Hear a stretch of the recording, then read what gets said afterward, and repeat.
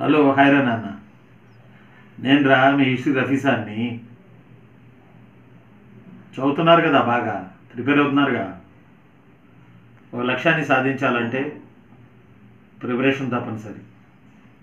ఒక్క పాయింట్ గుర్తుపెట్టుకోండి ఈ రోజు ఉన్నట్టు రేపు ఉండదు రేపు ఉన్నట్టు ఎల్లుండి ఉండదు. మన లైఫ్లో కూడా బలంగా అనుకోండి గవర్నమెంట్ జాబ్ వచ్చి తీరుతుంది. బైబిల్లో ఒక మాట చెప్పారు అడగండి ఇవ్వబడుతుంది. అడగడం గట్టిగా అడగండి దేవుణ్ణి. జాబ్ వస్తుంది.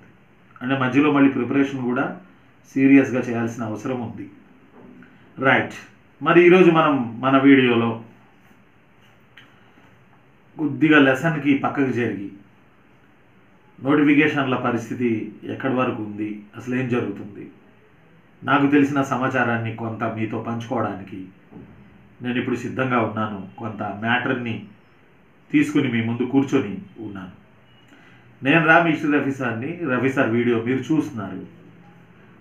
కాబట్టి ఈ ఈ విషయాలు మీలో స్ఫూర్తిని కలిగించి ప్రిపరేషన్ని మరింత వేగిరం చేస్తాయని నేను అనుకుంటున్నాను. నేను అనుకుంటున్నాను.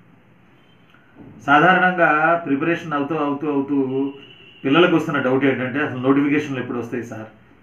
జనవరిలో క్యాలెండర్ అన్నారు కదా. మరి ఏమైంది? ఫిబ్రవరి కూడా అయిపోవస్తుంది కదా. ఫిబ్రవరి రెండు వేల పంతొమ్మిది కూడా అయిపోవస్తుంది కదా అని అంటున్నారు పిల్లలు.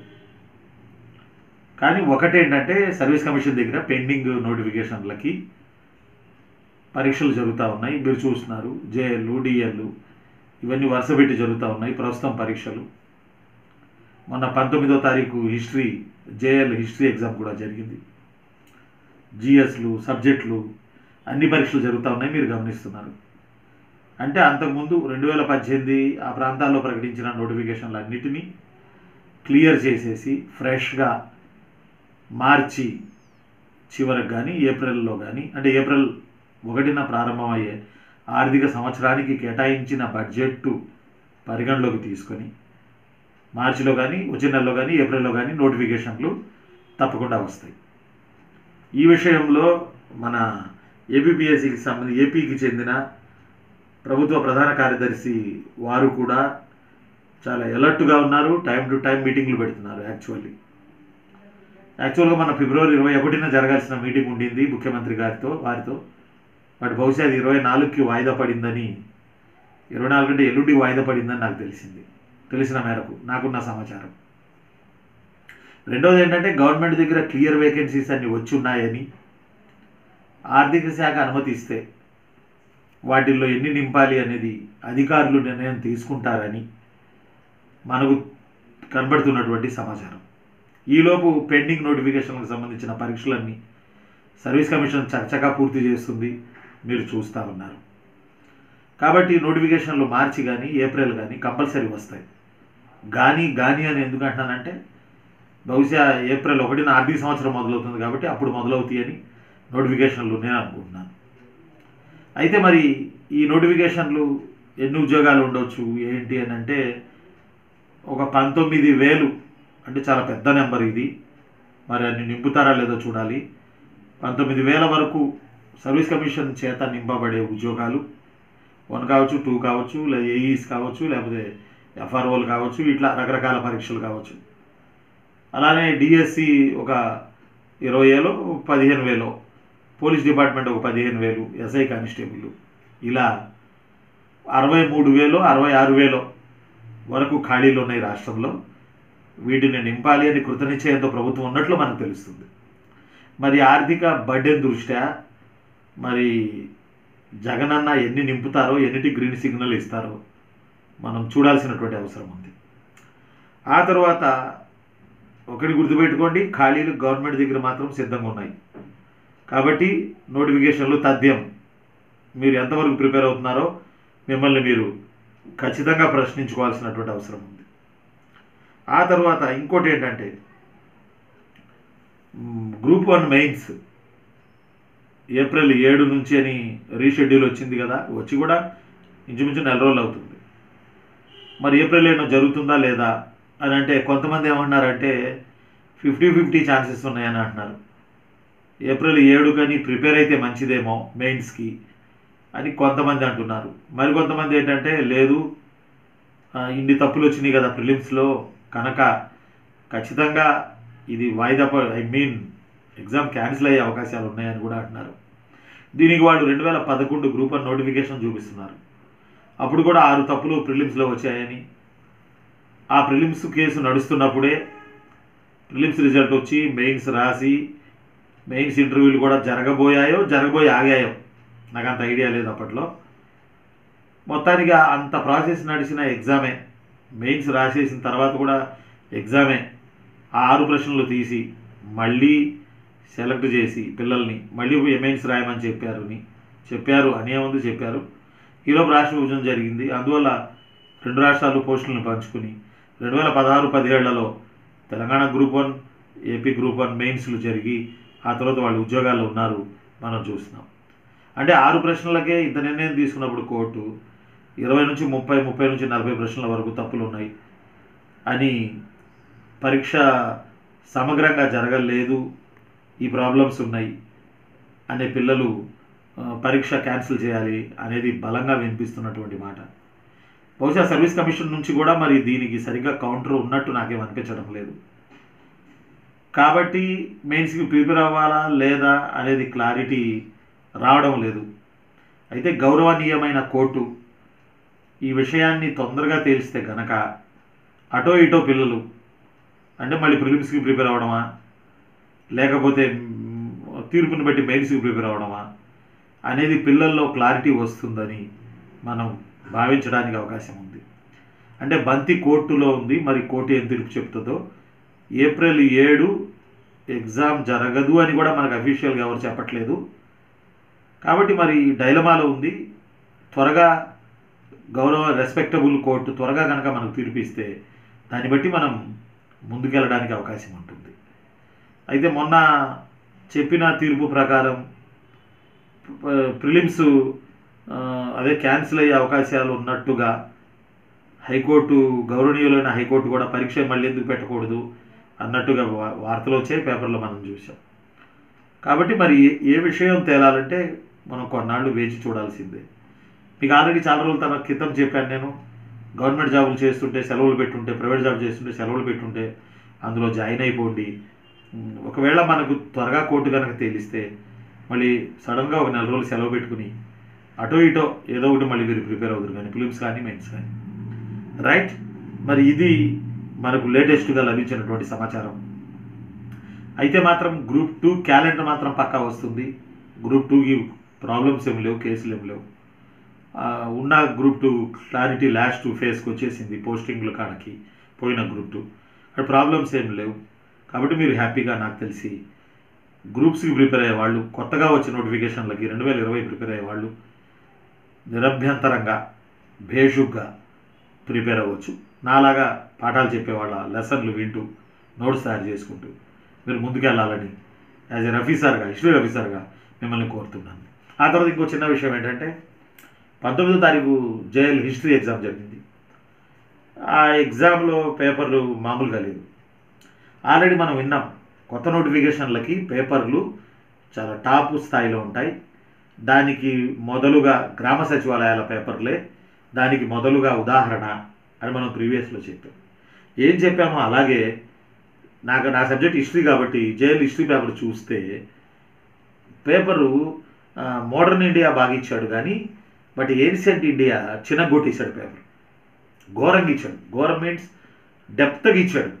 పర్టికులర్లీ జైల్లోకి ఇండియన్ హిస్టరీ మొత్తం ప్లస్ వరల్డ్ హిస్టరీ కూడా ఉంటుంది కాబట్టి వరల్డ్ హిస్టరీ ముప్పై ఐదు బిట్లు ఇచ్చినట్టున్నాడు వన్ ఫిఫ్టీలో. మిగతా నూట పద్నాలుగు బిట్లు ఇండియన్ హిస్టరీ ఇచ్చాడు జేఎల్ హిస్టరీలో. అందులో శాతవాహనుల మీద ఒక బిట్ లేదు కాకతీయుల మీద ఒక బిట్ లేదు విజయనగరం మీద బిట్లు ఉన్నాయి కొంచెం వేగి చాళుక్యుల మీద అక్కడక్కడ ఒకటి రెండు బిట్లు కనపడ్డాయి ఇక మిగతా చోట ఎక్కడా కూడా మనకి బిట్లు తగలలేదు. ముఖ్యంగా ప్రీ హిస్టారికల్ పీరియడ్ మీద ఐదారు బిట్లు ఇచ్చాడు ఇండస్ వ్యాలీ సివిలైజేషన్ మీద ఒక రెండు మూడు బిట్లు ఇచ్చాడు ఆర్యన్ కల్చర్ మీద ఒక నాలుగైదు బిట్లు ఇచ్చాడు. ఇవి కొంచెం టఫ్గా అనిపించినాయి ఉన్న వాటిల్లో. హర్షుడు కనిష్కుడు ఇలా వీటి మీద బిట్లు ఏమి తగలలేదు. బట్ నాకు తెలిసి చాలా స్టాండర్డ్గా హిస్టరీ పేపర్ ఉంది. అందులో భాగంగా ఒక రెండు మూడు బిట్లు మనం ప్రీవియస్ వేగి చాళుక్యులకు సంబంధించి తగిలిని ఒక రెండు బిట్లు.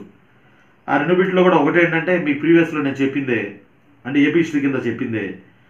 ఈ క్రింది వాటిలో గణితసార సంగ్రహం రచయిత అయిన మహావీరుణ్ణి ఎవరు పోషించారు అని అడిగాడు.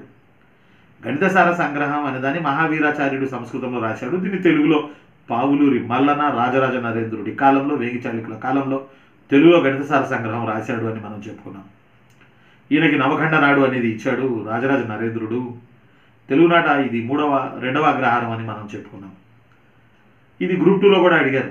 మహావీరాచార్యుని గణిత స- గణితసార సంగ్రహాన్ని సంస్కృతంలో ఎవరు రాశారు అని గ్రూప్ టూలో కూడా అడిగారు. ఇప్పుడు వాళ్ళు రిక్రూట్మెంట్ అవుతుంది గ్రూప్ టూ ఏబిపిఎస్సి.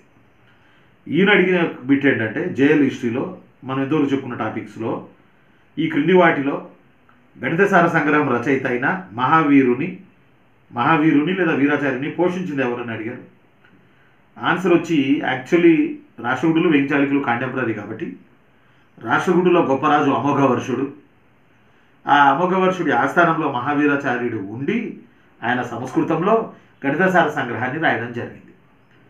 దీనిని సేమ్ టైంలో వెంచాలికులు తెలుగు భాషా సంస్కృతులను టాప్ లేపారు కాబట్టి వాళ్ళలో పావులూరి మల్లన బయలుదేరి ఈ పుస్తకాన్ని తెలుగులోకి మార్చి రాజరాజ నరేంద్రుడికి అంకితం ఇచ్చి నవఖండ నాడు అనే అగ్రహారాన్ని పొందినట్లు మన పుస్తకాల్లో చదువుతాం. ఆ తర్వాత ఇంకొక పాయింట్ ఏంటంటే తూర్పు చాళుక్యుల్లో ఒకరు ఒక చోళ రా ఒక చోళ రాజుకి ఆశ్రయం ఇచ్చినట్లు పేర్కొనబడిరి అని అడిగాడు. ఇది రెండో ప్రశ్న. వేంగి చాళుక్యులకి రెండు వచ్చినాయి. అంటే పై క్వశ్చన్ యాక్చువల్లీ రాష్ట్రగుడి ఉంది బట్ వెంగి చాళుక్యులకి అనునయించవచ్చు మనం. రెండో క్వశ్చన్ ఏంటంటే తూర్పు చాళుక్య రాజుల్లో ఒకరు ఒక చోళరాజుకి ఆశ్రయం ఇచ్చినట్లు పేర్కొనబడింది. ఇది చాలా టఫ్ క్వశ్చన్ ఎందుకంటే వెంగి చాళుక్యులు కళ్యాణ చాళుక్యులను వేయడానికి చోళులతో రిలేషన్ ఏర్పాటు చేసుకున్నారు. వైవాహిక సంబంధాలు కూడా ఏర్పాటు చేసుకున్నారు. ఇలాంటి రిలేషన్ విమలాదిత్యుడు కాలం నుంచి దానార్ణుడు కాలం నుంచి మొదలైంది. అయితే మరికొంత లోతుకెళ్ళి చూస్తే ఈ క్వశ్చన్ చాలా డెప్త్ గడిగినట్టు ఒక రకంగా చెప్పాలంటే తూర్పు చాళుక్య రాజుల్లో లేదా వేంగి చాళుక్య రాజుల్లో ఒకరు ఒక చోళ రాజుకి ఆశ్రయం ఇచ్చినట్లు చెప్పబడిరి. ఏ మూడో విజయాదిత్యుడు మూడో విజయాదిత్యుడు అంటే గుణగ విజయాదిత్యుడు అని తర్వాత బి మొదటి చాళుక్య భీమ. సి రెండో విజయాదిత్యుడు రెండో విజయాదిత్యుడు అంటేనే నరేంద్ర మురుగరాజు నెక్స్ట్ ఫస్ట్ కుబ్జ విష్ ఫస్ట్ విష్ణువర్ధన్. ఫస్ట్ విష్ణువర్ధన్ అంటే కుబ్జ విష్ణువర్ధనే. ఒక చోళరాజుకి ఆశ్రయం ఇచ్చిన వేగిచాడిక రాజవరువు అని అడిగారు. ఆన్సర్ వచ్చి శోధించగా సాధించగా మూడో విజయాదిత్యుడు ఆన్సర్ అని తేలింది. ఈయనే గుణగ విజయాదిత్యుడు అంటే గుణగ విజయాదిత్యుడి కాలం నుంచే చోడులకి వేంగి చాళుక్యులకి రిలేషన్స్ ఉన్నాయి. ఈ పక్కనేమో వేంగి చాళుక్యులకి కళ్యాణ చాళుక్యులకి రిలేషన్స్ ఉన్నాయి. ఈ పక్కనేమో వేంగి చాళుక్యులకి అంతకుముందు రాష్ట్రగుడులకి శత్రుత్వాలు ఉన్నాయి. అంటే వేంగి చాళుక్యులకి రాష్ట్రగుడులకి శత్రుత్వం ఉంది వేంగి చాళుక్యులకి కళ్యాణ చాళుక్యులకి శత్రుత్వం ఉన్నది. వేగి చాళుక్యులకి చోళులకి మిత్రత్వం ఉన్నది. ఆ మిత్రత్వం మూడో విజయాదిత్యుడు లేదా గుణగ విజయాదిత్యుడి కాలంలో మొదలైంది. ఆ మిత్రత్వం మరీ ముదిరి కళ్యాణ చాళుక్యులు ఎగడానికి ఆ మిత్రత్వం పెళ్ళిళ్ళ కింద మారి మ్యాట్రిమోనియల్ అలయన్సెస్ కింద మారి ఇది విమలాదిత్యుడు వచ్చే టయానికి రాజేంద్ర రాజరాజ నరేంద్రుడు ఆయన రాజరాజ చోళుడి కూతుర్ని పెళ్ళి చేసుకోవడం. రాజరాజ నరేంద్రుడు వచ్చి రాజేంద్ర చోళుడి కూతుర్ని పెళ్ళి చేసుకోవడం. అలానే కులోత్తముడు వచ్చి మూడో రాజేంద్రుడి చోళుడి కూతురుని పెళ్ళి చేసుకోవడం.